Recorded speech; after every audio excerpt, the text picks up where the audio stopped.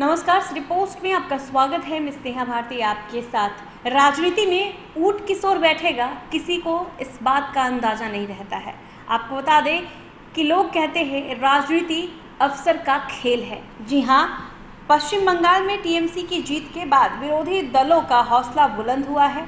हौसला बुलंद तो उन पार्टियों का भी हुआ है, जो किसी न किसी मजबूरी से बीजेपी के साथ मिलकर राज्यों में सरकार चला रहे हैं। ऐसा ही प्रदेश बिहार है जहाँ सीएम तो नीतीश कुमार है, लेकिन बीजेपी की सहयोग से। नीतीश कुमार की छवि समाजवादी नेता की रही। वे बीजेपी के कट्टर राष्ट्रवाद का समर्थन नहीं करते। लेकिन सत्ता में बने रहने की मजबूरी कहिए या फिर सत्ता से लालू परिवार को अलग रखने का हट, नीतीश कुमार को बीजेपी के साथ सरकार में रहने को मजबूर करता है।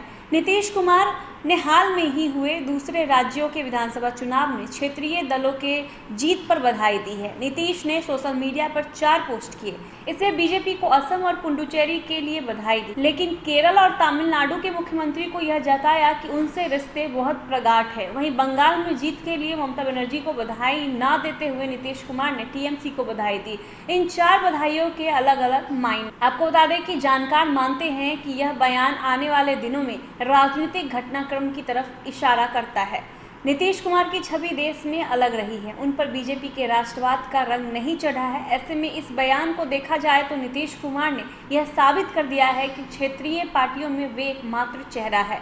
जिसको लेकर सभी आगे बढ़ सकते हैं। उन्होंने तमिलनाडु के स्टालिन और केरल के बिजयन के रिश्ते को लेकर के भी साफ़ कर दिया कि उनसे समर्थन मिल रहा है। वहीं उन्होंने ममता को छोड़कर टीएमसी का नाम लिया। उन्हें पता है कि यदि कोई नीतीश कुमार को टक्कर दे सकता है तो वो है ममता बनर्जी। ऐसे में यदि 2024 के लिए कोई फ्रंट तैयार हो तो नीतीश कुमार उसके चेहरा बने, इसकी तैयारी है। राजनीतिक जानकारों की मानो तो एनडीए में नीतीश कुमार कंफर्टेबल महसूस नहीं कर रहे हैं। गाहे बगाहे उनके सामने यह जता दिया जाता है कि वे बीजेपी की बदौलत सीएम की कुर्सी पर बैठे हैं। ऐसे में कभी पीएम मटेरियल रह चुके नीतीश कुमार एक बार फिर से पूरे देश की क्षेत्रीय पार्टियों को एकजुट कर सकते हैं। इनकी इस मुहिम में साथ उन दलों का मिलेगा जो बीजेपी विरोध की राजनीति करते हैं। पंजाब, महाराष्ट्र, झारखंड, तमिलनाडु, केरल, पश्चिम बंगाल सहित वे क्षेत्रीय दल जो कहीं सत्ता में नहीं लेकिन अपने राज्य में मज़बूत पकड़ रखते हैं, वे नीतीश कुमार का साथ दे सकते हैं। इधर आरजेडी सुप्रीमो लालू प्रसाद यादव का जेल से बाहर आना सभी क्षेत्रीय दलों के लिए संजीवनी है। लालू यादव की राजनीति बीजेपी विरोधी रही है।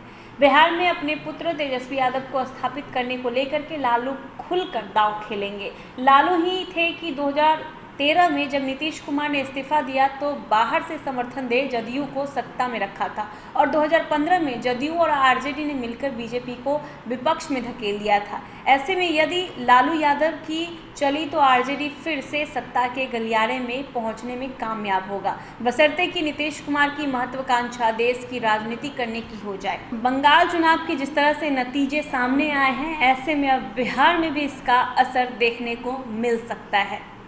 अगर आपको ये खबर अच्छी लगी हो तो हमारे चैनल को ज़रूर सब्सक्राइब कीजिएगा फेसबुक पेज को भी लाइक और फॉलो कीजिएगा। धन्यवाद।